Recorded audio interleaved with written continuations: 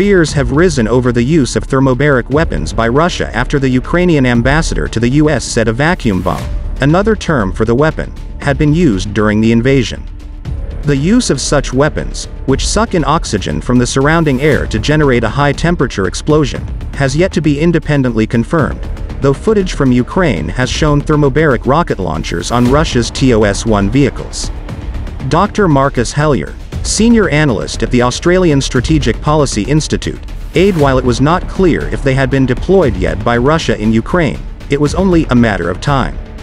How did they work? The thermobaric weapon, also known as an aerosol bomb or fuel-air explosive, is a two-stage munition.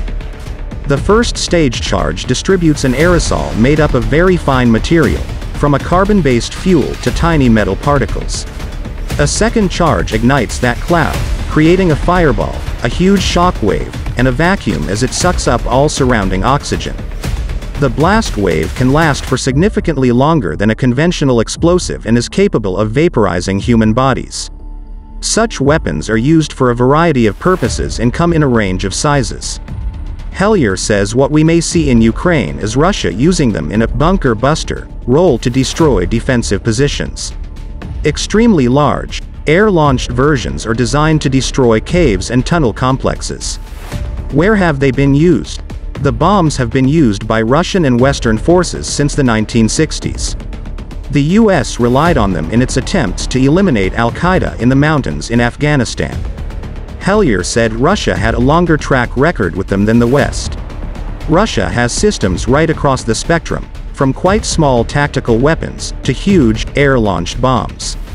The separatists that Russia was supporting in the Donbass region, they have been using them for a number of years now.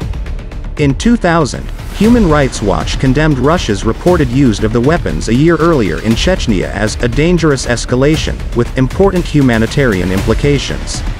How dangerous are they? Hellyer said thermobaric weapons were effective at their specific purpose of primarily destroying defensive positions.